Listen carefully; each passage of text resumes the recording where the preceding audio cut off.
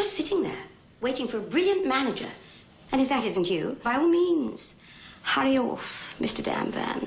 Van Damm. Oh, if you insist, dear. When you're rich enough to do anything, What do you know about the theatre? Oh, almost nothing. you can make up your own rules. Let's have naked girls. Pardon? Titties. Paris, after all, is just filled with naked women wearing bananas, and dare I say it, making everyone else go bananas in return. We need a license from the Lord Chamberlain. Don't be silly. All right, ladies, off you go.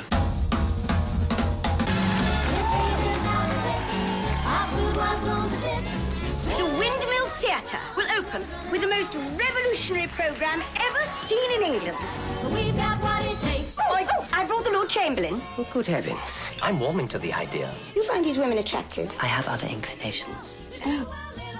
Oh, how delicious. He treats us as what we are. Afternoon, girls. And what is that?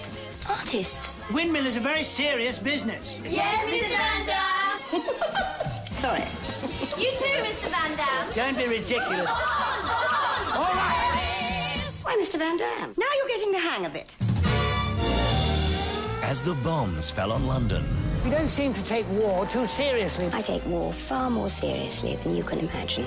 the curtain went up on the show that would go down in history. The Government is forcing us to close. I can't hear you. That bloody woman. As long as the windmill exists, we shall come through. Academy Award winner Judi Dench. You're a very irritating woman. Academy Award nominee Bob Hoskins. You're a very irritating man. Come on. Mrs. Henderson presents Oh, yes. That's lovely.